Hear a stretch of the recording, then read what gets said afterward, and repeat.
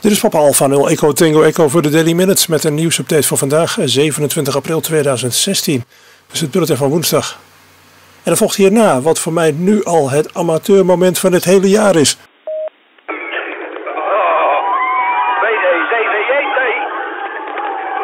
En de Pieter. En de looping. Oh. Oh. Kurkentrekker. Oh. Ah.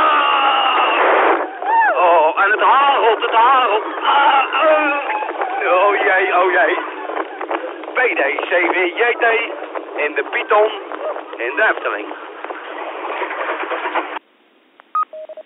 Het stukje audio komt uit de Koningsronde van vandaag. Die ronde was een spontaan initiatief van Jurgen ON3-JVB.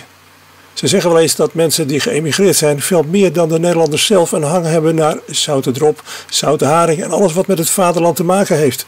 Jurgen maakte vandaag duidelijk dat dat zelfs geldt als het aantal kilometers over de grens slechts één digit beslaat.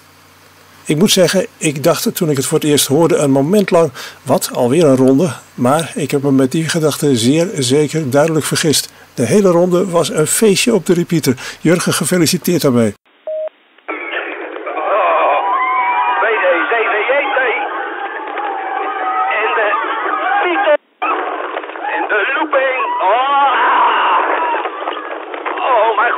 Kurkentrekker. Kurkentrekker. Oh. Ah. Oh, en het hagelt, het hagelt. Ah, oh. oh jee, oh jee. PD, CWJT. En de Python. En de Efteling. Maar goed, over tot de orde van de dag. Vandaag hebben we aan het eind van de uitzending eerst morsen en vervolgens een SSTV-plaatje in PD50. Zoals bekend kun je zo'n plaatje ook ontvangen met een app op je mobiel. Gewoon met de microfoon van je smartphone voor de speaker. Voor Android heb je daarvoor de app Robot36 nodig en voor iPhone bijvoorbeeld CQ SSTV. Ja, minder vrolijk nieuws is er voor DX geïnteresseerden. Maakten we gisteren nog enthousiast bekend dat er eh, begin mei een DX-expeditie in Noord-Korea zou zijn. Inmiddels maakte de leider van de DX-expeditie echter bekend dat het hem spijt te moeten melden dat de DX-expeditie twee dagen voor vertrek is afgezegd. Paul en 6 PSE uit daarbij kritiek op andere DX-organisaties die eerder weigerden bij te dragen aan de extreem hoge kosten van de DX-expeditie. Om het verblijf in Noord-Korea te laten doorgaan, plunderden enkele leden van de groep, waaronder Paul zelf, hun pensioen te goede. Twee dagen voor vertrek werd echter bekend dat op enkele na alle visums waren verleend. Helaas bleek Paul zelf geen toegang tot Noord-Korea te krijgen. Vervolgens besloot hij begrijpelijkerwijs dat hij niet zo'n grote aanslag op zijn pensioengeld wil doen voor een evenement waar hij zelf niet bij kan zijn. Dat zette vervolgens met dat grote bedrag wat hij bijdroeg de hele de expeditie op losse schroeven. Een oorzaak voor de weigering van het visum van Paul werd niet gegeven. Een reden kan zijn het tegen de wil van de DX-groep vroegtijdig bekend raken van het initiatief. Verder is er een piraat actief geweest die deed of hij onder de roepnaam van de expeditie vanuit Noord-Korea actief was. Het kan zijn dat de Noord-Koreanen gedacht hebben dat Paul hier zelf achter zat, waarna ze het vertrouwen in hem hebben verloren. Anders de lezing van N6PSE. Op 26 mei aanstaande om drie uur s middags onthult wethouder Fons de Haan van de gemeente Bladel een infobord bij de luchtwachttoren in die plaats. Dit infobord informeert de wandelaar over de geschiedenis van dit gemeentemonument en het is geschonken aan de bevolking van Bladel door de Kempische Amateur Radioclub die eh, haar 20-jarig bestaan viert. Zo staat te lezen op www.veron.nl. De luchtwachttoren in Bladel was tijdens de Koude Oorlog in gebruik bij het korps Luchtwachtdienst. De verbinding tussen dergelijke torens, die zowel op VHF als op korte golf plaatsvond, was in de jaren 50 en 60 nog steeds een uitdaging. Leden van de afdeling hebben zich ontfermd over de restauratie van apparatuur uit die periode. De toren is gebouwd in 1955 en had als tactische callsign Cuba 1. Om die reden is half mei, of vanaf half mei, een speciale callsign Papa Alpha 55 Cuba in de lucht zijn kortegolfomroepzenders in Europa steeds dunner gezaaid. En dat is in de VS nog sterker het geval. Er zijn delen van de wereld waar nog wel eens een nieuwe kortegolfzender erbij komt. iMedia is een station in de jonge staat Zuid-Soedan die tot nu toe lokaal op de FM-band de bevolking probeerde te bereiken. Om de gehele bevolking van het land te kunnen bereiken is het station met geld van de Amerikaanse overheid nu een korte golfdienst gestart. Het dunbevolkte Zuid-Soedan is sinds 2011 een zelfstandig land. Het is ruim 12 keer zo groot als Nederland en er wonen 12 miljoen mensen. In deel 8 van de serie over antennes hebben we het nog steeds over de tuner, de antenne-tuner. En de bijvoorbeeld filterende werking die van een tuner uit kan gaan. Een tuner werkt ook voor ontvangst natuurlijk, net als bij zenden, alleen in omgekeerde richting. Ook bij ontvangst is het voor een goede werking van belang dat de antenne en de ontvanger goed op elkaar zijn aangepast. Zij dat het hier met name op de korte golf wat minder belangrijk is dan bij zenden. Wanneer de tuner voor zenden goed zet, zal deze voor ontvangst doorgaans ook goed staan, tenzij natuurlijk split frequency werkt met een vrij grote split. Ook bij ontvangst profiteer je verder van de filterwerking van de tuner, met name de spiegelonderdrukking van je ontvanger wordt daardoor dus beter dan zonder de tuner. Wanneer echter het ruisgetal een rol gaat spelen, zoals op VHF en hoger, kan het voor een optimale gevoeligheid nodig zijn om de ingangstrap van je ontvanger een kleine misaanpassing ten opzichte van de antenne te geven. Om die reden zou je met een antennetuner in die gevallen de gevoeligheid van je ontvanger enigszins negatief kunnen beïnvloeden.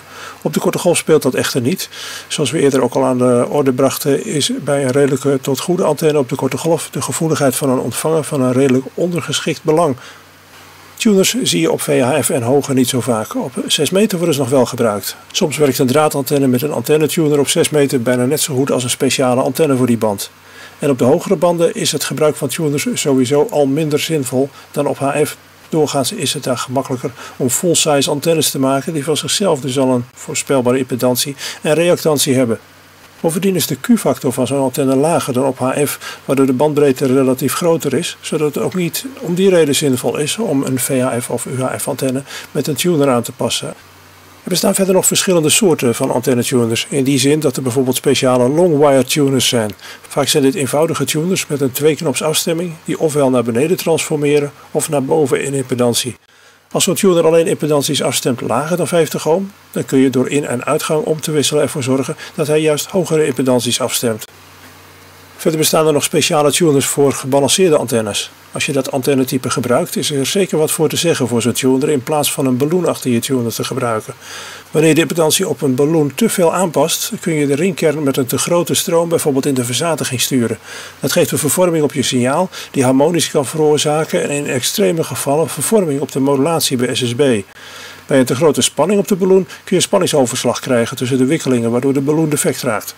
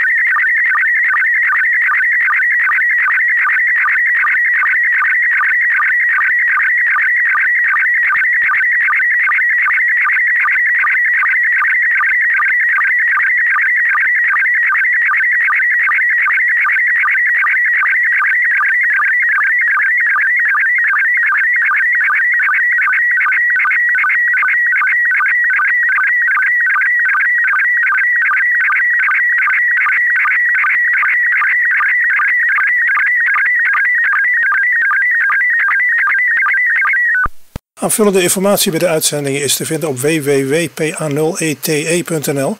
Mail verder gerust je tips, commentaar en desnoods prietpraat naar xdv.me. En dan volgt nu een nieuwsbericht. Dat is vermomd als reclame. Of nee, eigenlijk is het dus andersom. Het bedrijf Wokka Wokka heeft onlangs een nieuw product op de markt geïntroduceerd. Wokka Wokka signaleert de problemen die veel zelfbouwers hebben met solderen. Een soldeerbad heeft vaak niet genoeg warmtereserve, tenzij hij hem verkeerd beetpakt. Dan heeft hij dat weer te veel. Vroeger zag je vaak soldeerpistolen, ook wel soldeerrevolvers genoemd. Een draadje tussen twee geleiders werd dan warm zodra je de trekker overhaalde. Maar het draadje werd daarbij ook vrij snel weer koud, zodat je er niet zo gemakkelijk dus je fikken aan brandde.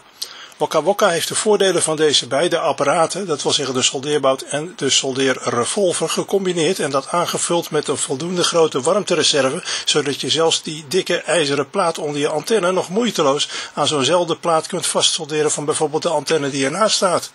Het nieuwe, ronduit handzame Super Soaker 352 soldeerkanon beschikt over een eigen warmtegenerator die op kerosine en een acetyleenmengsel werkt.